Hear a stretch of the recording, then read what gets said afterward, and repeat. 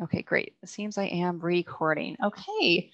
Um, hello, everyone, and welcome to the November 2021 virtual field trip to Chagrin River Park. My name is Michelle Brosius. I am your bird walk leader this evening. I'm also a WCAS board member and field trip co-coordinator.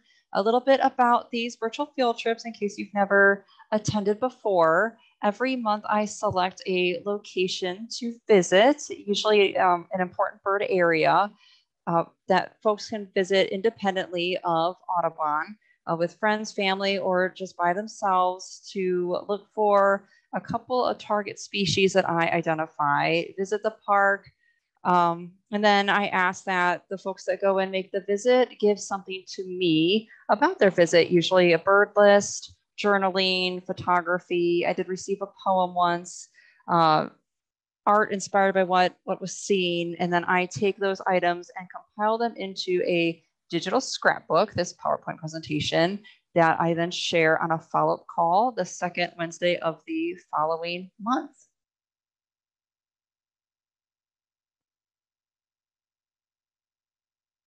All right, so a little bit about Chagrin River Park.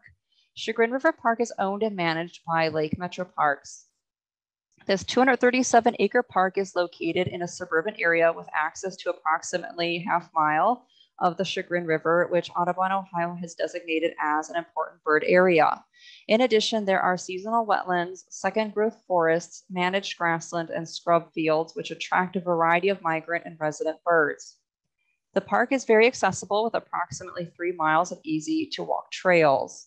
Um, in the spring, an excellent variety of migrating warblers, sparrows, thrushes, and other songbirds, rails, and shorebirds can be seen. In the summer, over 75 species of nesting birds, including yellow warblers, Baltimore and orchard orioles, spotted sandpiper, flycatchers, kingfishers, swallows, bobolinks, cuckoos, song and savannah sparrows, sorrel um, can be seen in the summer. And that is taken from the Ohio Ornithological Society's Birding in Ohio website the Chagrin River Park page. And on the left-hand side, a, a, gorgeous photo of the Chagrin River uh, flowing through the park uh, taken by Sean Missig. And I don't always have two slides on the location, but there was much more to say about it. So in 1993, Lake Metroparks acquired 101 acres along the Chagrin River, located in the communities of Eastlake and Willoughby. Most of the park's natural areas are made up of dense shrubs with pockets of mature forest bordering wetland areas. Archaeologist Charles Whittles, Whittlesey found evidence of earthworks along the Chagrin River just downstream from this park. The site is named the Reeve Village site for the property owners, Dr. George and Reeve.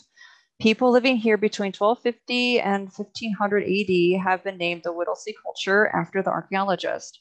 During several excavations, a variety of artifacts were found, including clay vessels, bird bone beads, projectile points, scrapers, and a large number of smoking or ceremonial pipes. These can now be seen at the Indian Museum of Lake County. Look for great blue herons, kingfishers, bank swallows, and sandpipers near the river. Two wetland areas support frogs, salamanders, and a variety of songbirds. The seasonal wetland near the picnic shelter serves as a haven for great blue heron and ducks such as mallards and blue-winged teal. Parkland on the east and west bank of the Chagrin River are linked by a pedestrian bridge. Across is provided, access is provided to more than 2.83 miles of trails. And that is also from the Ohio Ornithological Society's website. Uh, and then a photo I took at the Chagrin River Park All right, first target species was the wild turkey. Uh, most North American kids learn turkey identification early by tracing outlines of their hands to make Thanksgiving cards. These big, spectacular birds are an increasingly common sight the rest of the year, too, as flocks stride around woods and clearings like miniature dinosaurs. Courting males puff themselves into feathery balls and fill the air with exuberant gobbling. The wild turkey's popularity at the table led to a drastic decline in numbers, but they have recovered and now occur in every state except Alaska. And that is from the Cornell Lab of Ornithology Wild Turkey webpage. And The wild turkey was unfortunately not sighted at Chagrin River Park during the virtual field trip month. I think this is the first time this has happened to me that no one has seen the target species. They were supposed to be there. eBird said they've been there previous years in November, um, but for whatever reason, they were lying low this past November. Um, but I put in a picture of the wild turkey there um, in Holmes County by Tom Fishburne. And Tom unfortunately could not join us tonight. All right, uh, uh, the second target species, a white-throated sparrow, which was sighted in great numbers. I am pleased they made up for the wild turkey not being there. All right, so crisp facial markings make the white-throated sparrow an attractive bird as well as a hopping flying anatomy lesson. There's a black eye stripe, the white crown and supercilium, the yellow lores, the white throat bordered by a black whisker or malar stripe. They're also a great entree into the world of birdsong and their pretty wavering whistle of Oh Sweet Canada. These forest sparrows breed mostly across Canada, but they're familiar winter birds across most of eastern and southern North America and California. The white-throated sparrow comes in two color forms, white-crowned and tan-crowned. The two forms are genetically determined and they persist because individuals almost always mate with a bird of the opposite morph. Males of both color types prefer females with white stripes, but both kinds of females prefer tan striped males. White striped birds are more aggressive than tan striped ones, and white striped females may be able to outcompete their tan striped sisters for tan striped males. So that's also from the Cornell Lab of Ornithology, the white-throated sparrow um, webpage. And then I included a picture there of the white-throated sparrow at Chagrin River Park. All right, so first up is myself. So I visited the park on November 20th. Uh, there were so many birds that my visit to Chagrin River Park was a blur. I parked at the Erie Road entrance where I met my friend Amy, and we made a beeline for the bridge to explore the Songbird Loop Trail. A full disclosure, my friend is very familiar with this park and dragged me around every which way that I tried my best using the Chagrin River Park map and Google Maps satellite view to piece my visit together afterwards. So uh, when I'm talking with you through how I went and where I went, I'm pretty sure pretty sure I'm accurate, but I can't be 100% sure. All right, so from what I remember, we took the Songbird Loop Trail to the north first. Here we happened upon a spot where seed had been left out for the birds. I want to point out that there are multiple signs posted at the park to not feed the wildlife. However, despite these rules, I saw plenty of evidence that people were engaging in this activity. One of my favorite wildlife photographers, Melissa Groo, speaks to the ethics of when it's okay or not to feed birds in an article she wrote for Audubon. Obviously, the property owner's rules should always be respected, but what about in cases where there is a choice? She provides some questions we can ask ourselves. Number one, is the species at risk? Number two, is the food appropriate and safely provided? Number three, is feeding this bird likely to change its behavior in harmful ways? An example that Melissa Groo provides is of the Florida scrub jay, which is a species vulnerable to extinction. This bird species is one that adapts very well to being hand fed. While hand feeding birds can be a delightful experience when led by a park naturalist, engaging in this activity without considering ethical questions could have disastrous results. Studies have shown that Florida scrub jays fed by humans breed earlier in the season than birds that forage for their own meals, and the chicks hatch before their main food source, caterpillars, are readily available. So that's um, obviously uh, not a great thing to happen, especially to a bird that is already threatened. Um, all right, so back at Chagrin River Park, uh, there were multiple species of birds foraging the scattered seed in the one spot. Uh, dark-eyed juncos, white-breasted nuthatches, tufted titmice, white-throated sparrows, and black-capped chickadees were all present. And then I have a photo here of a dark-eyed junco at Chagrin River Park. Um, this picture, as well as the next several, are at the site where they were eating the seeds, and you will see evidence of um, the seeds scattered. So here is the white-breasted nuthatch at Chagrin River Park taking its turn. And I have this zoomed in. I was not this close to the birds. All right, tufted titmouse at Chagrin River Park by myself.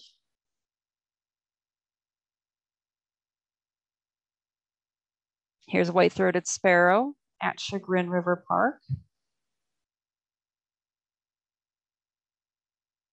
Another white-throated sparrow on the left and a black-capped chickadee on the right. Um, the chickadee is up in the branches above the stump where the seed was, waiting its turn. All right, so we continued along to the west on the Songbird Loop Trail where we saw even more songbirds. This trail is very appropriately named.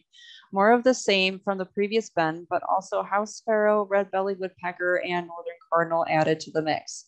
We also came across a gregarious white-throated sparrow who didn't seem to mind our attention. In fact, the bird perched mere feet away from us and shared its sweet song.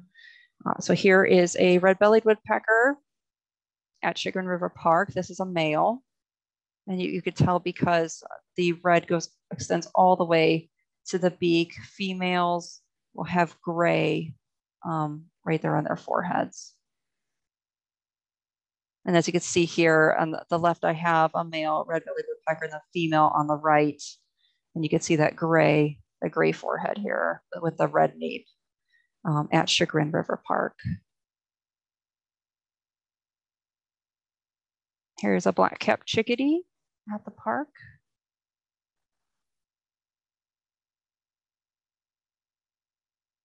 Male house sparrow at Chagrin River Park.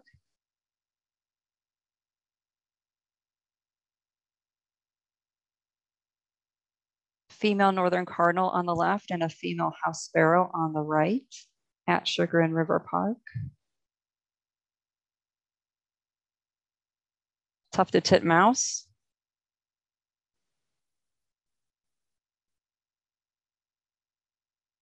And here's the singing, though backlit white-throated sparrow at Chagrin River Park.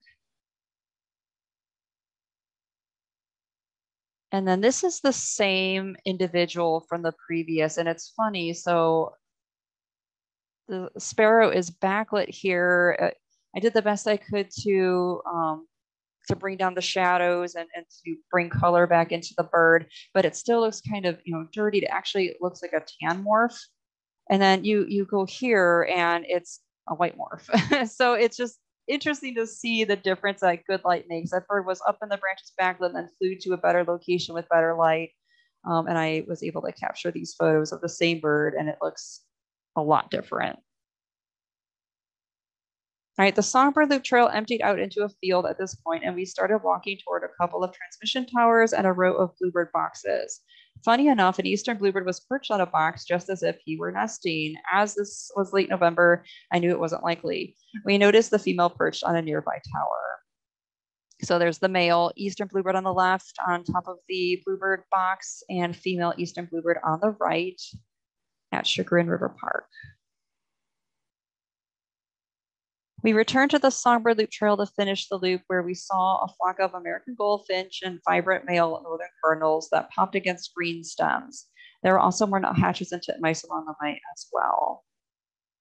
Here's the American goldfinch.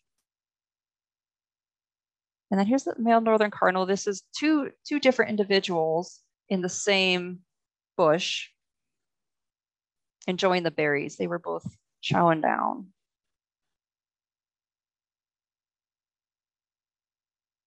White-breasted nuthatches at Chagrin River Park.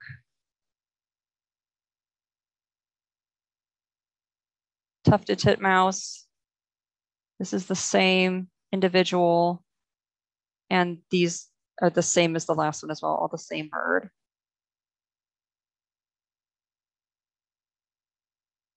All right, Amy and I finished the loop and crossed the bridge to take the Brambleside Loop Trail, which is mostly a grassland habitat.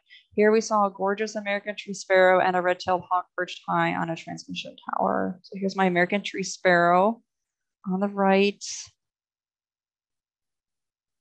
And then uh, two more pictures of that same sparrow at Chagrin River Park.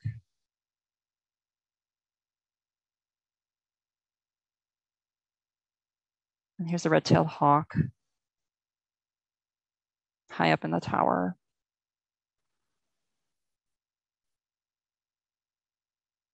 And here's my list. I um, so I did 21 species.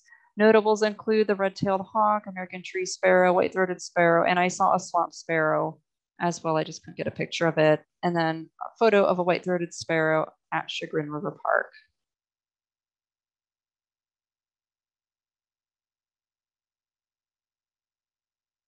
All right, Sean is up next. Sean visited the park four times. Um, and I'm skipping over, I can't, with, with Zoom, the controls are right in front of this number of species flag that I have, so I can't I can't see what everyone has. So I'm skipping that and just you know announcing at the end. But I hope you can all see it. If not, then I'll have to move my template around a little. All right. So Sean visited the park four times. Uh, Chagrin River Park is one of my absolute favorite places to go. From the many paths to walk to the abundant wildlife, this park never disappoints. Walking at Chagrin River Park helped me to get through the chaos of 2020 and also helped make 2021 an even better year. This place will always hold a special place in my heart. My first visit was on 11 2. I took the day off of work, and even if I found nothing that day, it was still way better than a day at the office. Thankfully, Chagrin River Park delivered as it always does, and I had a great trip. After I had parked, the robins were the first ones that I saw. Next, the blue jays followed and made their calls to alert everyone that they were there. From the parking lot off, Re- off of Reeves Road, I started up the central path that heads towards the field. As I was walking, there was plenty of movement on both sides of the path. I noticed a smaller bird within the mix and focused my attention on that. I was happy that I did, as it turned out to be a brown creeper. I then made my way towards the field. I found many birds within the brush on the sides of the path near the wetland area. Notable species I saw were white-throated sparrow, white crowned sparrow, golden crowned kinglet, and a fox sparrow. So there's a picture of the brown creeper at Chagrin River Park by Sean Missig. And two more photos here, white crowned sparrow on the left and white-throated sparrow on the right at Chagrin River Park by Sean Missig.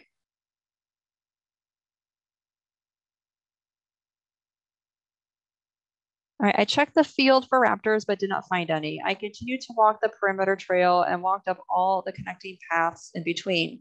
I spotted many of the resident birds as I walked these trails and enjoyed their company. They have followed me on these trails many times throughout the past two years.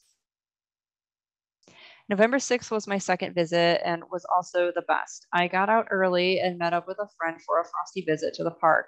This was the first major frost of the year and it was spectacular.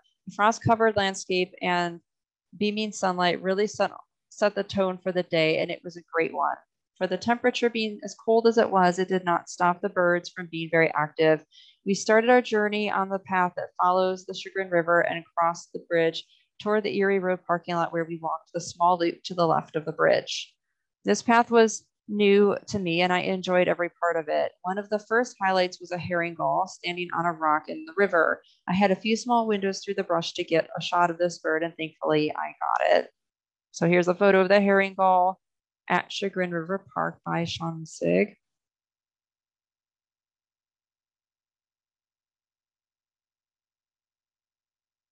As we continued, we encountered many of the resident birds, including robin, blue jay, crow, goldfinch, mourning dove, titmouse, and starling.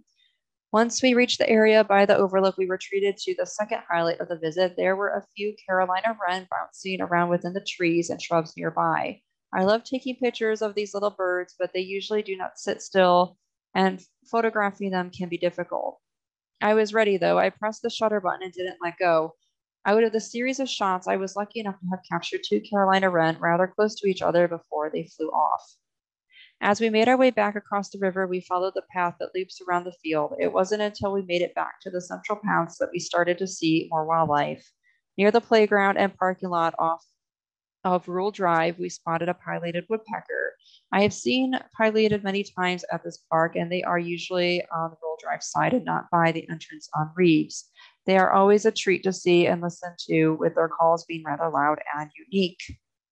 Uh, here is the picture of the Carolina Wren pair at Chagrin River Park by Sean Sig.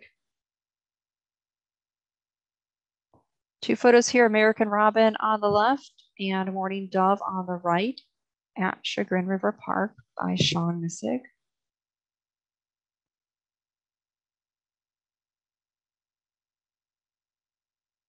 All right, as we continued, we did see some dark-eyed juncos and a northern flicker made an appearance as well. The last part of our journey took us to the large open field where I happened to find an American kestrel. I had seen it fly through as we were walking to the opening and caught it hovering in the air. It spotted me taking pictures of it and it landed high up on the tower for the electrical lines running through there. This is the only, uh, this is only the second time I've seen an American kestrel and each time it has been by electrical towers. I was able to get some shots of the bird, but the moment I briefly looked away, it was gone. This was a wonderful way to end the day. All right, my visit on 1114 was fairly similar to the last two trips. I spotted the American kestrel again, but was not able to get any more pictures as I only saw it flying through the area and could not find it later. All of the birds I normally see there were out in force again, and it made for another great visit. There was one blue jay that really made this visit special, though. It posed very nicely for me by the opening to the field. Most blue jay I have encountered do not like getting their picture taken, and they usually aren't patient birds either. So this one sitting nicely for me was a pleasant surprise. So there's the American kestrel at Chagrin River Park by Sean Missig.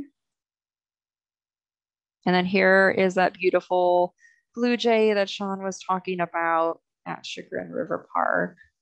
Just posing very nicely.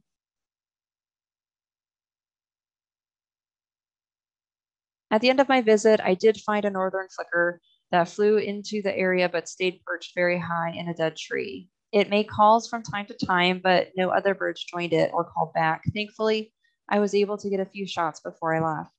My last visit was on Thanksgiving, 1125, and I, you know, I thought about going on Thanksgiving as well, um, but I did. I couldn't brave the rain. You braved the rain, Sean. I'm impressed. Anyways, uh, my last visit was on Thanksgiving, and this was an interesting one. This time, I met up with another friend, but both of us, but both. I'm sorry. This time, I met up with another friend for both of us to get some photography in. We succeed, but only for about an hour. After that hour, it started raining a little harder than we would have liked for having our equipment out. So we put our cameras away and continued walking. We saw the same birds I had seen previously, but this time a gray catbird made an appearance.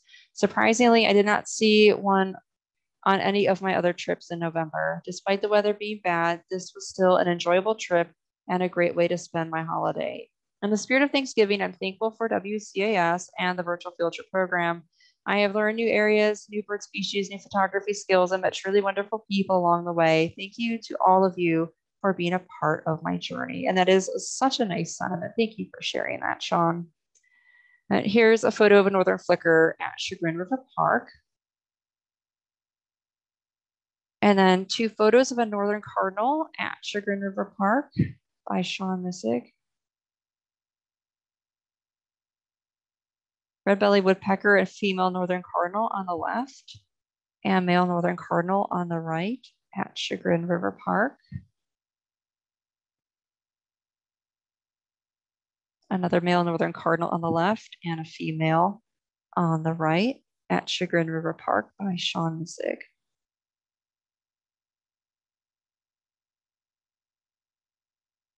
White-breasted nuthatches at Chagrin River Park by Sean Missig.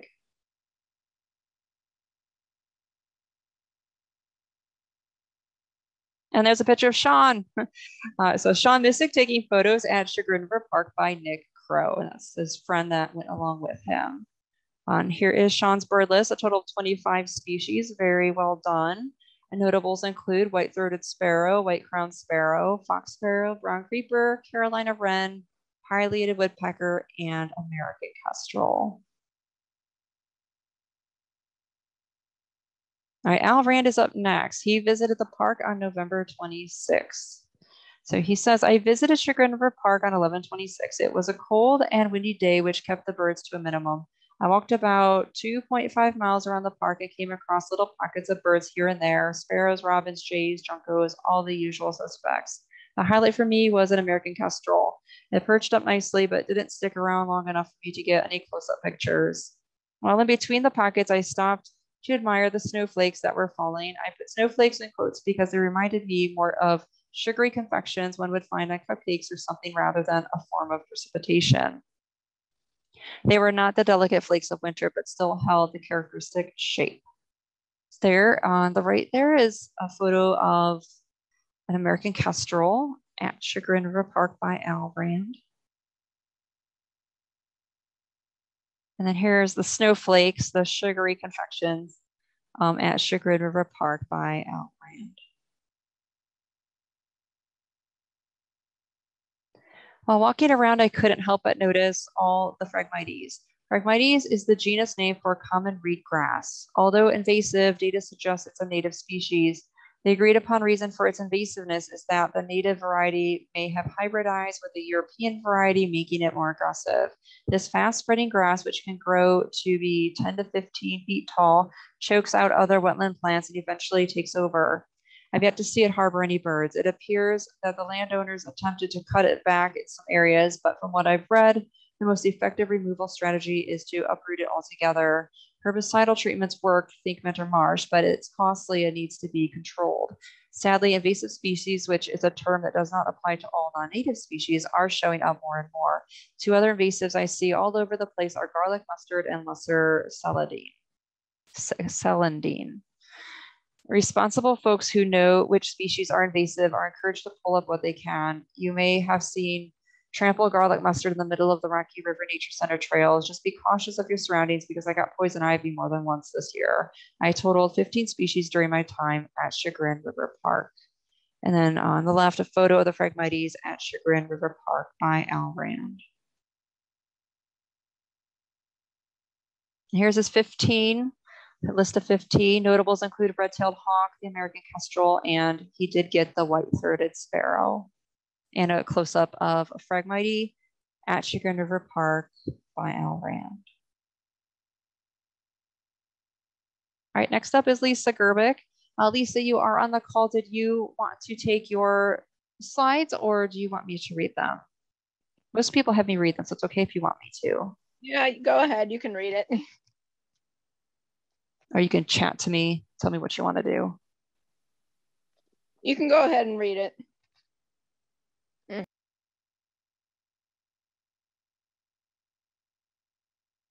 Well, I couldn't I, I couldn't hear you, but I think you were probably telling me to to go ahead. All right, so Lisa visit okay, good. Lisa visited the park two times. And she says, I always enjoy a trip to Chagrin River Park. I love hearing and seeing Eastern meadowlarks at this location in the spring and summer. For this field trip, I visited on November 13th and 24th. Many people here like to hand feed the birds and leave seed out for the wildlife. When I first arrived, a woman was hand feeding black-capped chickadees, tufted titmice, and white-breasted nuthatches. As I traveled my route, I watched a white-breasted nuthatch hide a seed under the tree bark. I noticed a huge bald-faced hornet nest in a nearby tree. Walking the trails, I saw many northern cardinals and blue jays. At one point, I stopped to watch a red-bellied woodpecker looking for a snack on the underside of a branch. I noticed many white-tailed deer along the trails. White-throated sparrows and American tree sparrows were along the path in certain sections of the park. I cut my first trip short because it started raining and I didn't want to get the camera wet. And on the right-hand side, a beautiful photo of a white-breasted nuthatch hiding that seed under the bark at Chagrin River Park by Lisa Gerbic.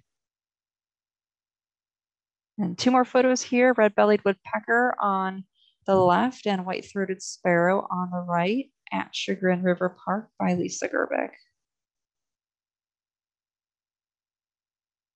I love the way that sparrow is like tilting its head. It's very cute.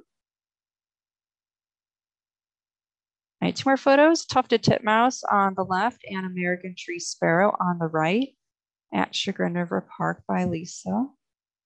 That's a fantastic close-up of, a, of the tufted titmouse.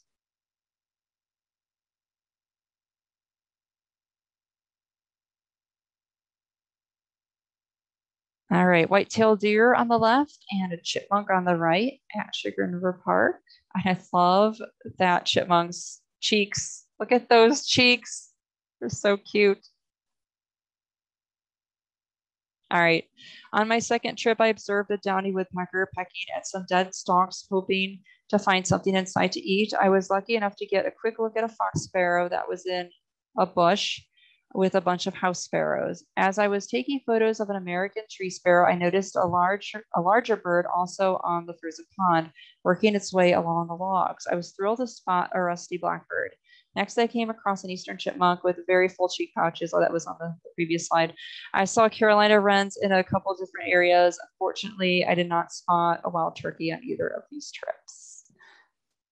All right, so uh, that rusty blackbird on the left and Fox Sparrow on the right at Chagrin River Park by Lisa Gerbic. Two fantastic birds to have sighted. Here's a, a hornet's nest on the left. I love that trail scene in the middle there. It's very picturesque. And Downy Woodpecker on the right at Chagrin River Park by Lisa Gerbic. Here's Lisa's bird list, 28 species. That's fantastic. Uh, notables that I picked out, Cooper's hawk, Carolina wren, American tree sparrow, white-throated sparrow, fox sparrow, and the rusty blackbird. And then a Carolina wren there um, on the left-hand side of the screen at Chagrin River Park by Lisa Gerbic.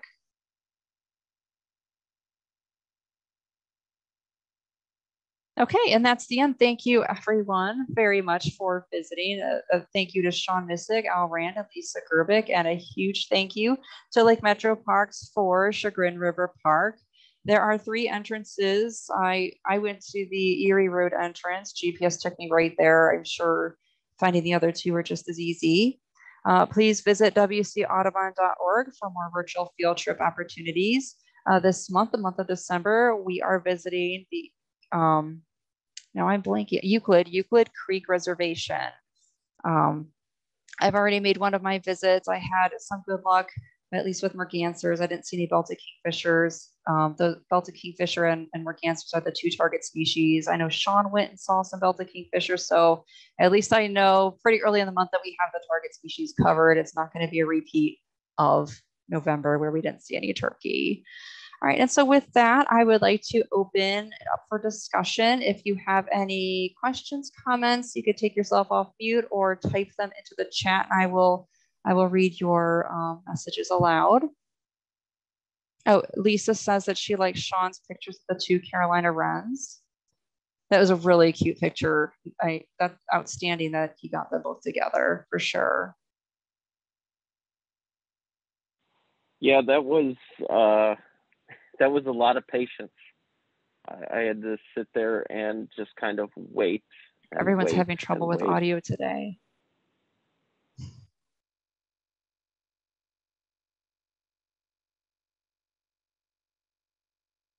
Any other comments? Looking at the chat.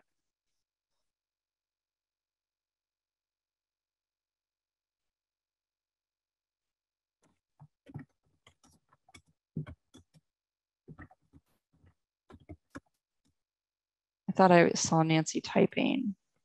Okay, I'll wait. All right.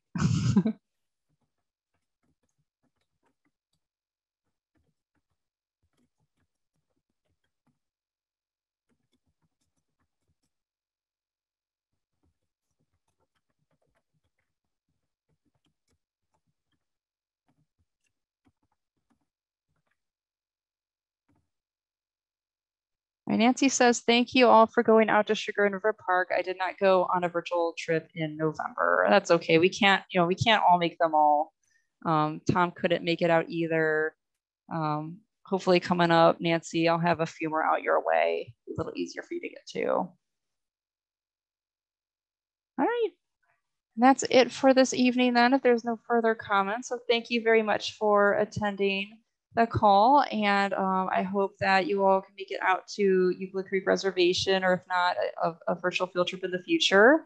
And I hope to see you all next month. Have a, a Merry Christmas, Happy Holidays, everyone.